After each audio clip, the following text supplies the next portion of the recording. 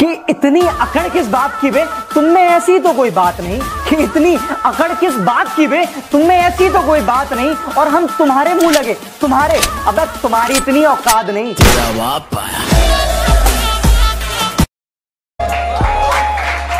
कोई अपना दुश्मनी पे उतर गया है और मेरे हक में जो दलीलें थी, फिजूल हैं अब। मेरे हक में जो दलीलें थी, फिजूल हैं अब। मेरा गवाह गवाही देने से मुकर गया है। और किसी ने भी तकलीफ़ नहीं पूछी जनाब। किसी ने भी आकर तकलीफ़ नहीं पूछी जनाब। हमने होश खुद ही संभाला है, क्योंकि हमने जिसको भी दिल से लगाया, हमें उसी ने दिल से निकाला।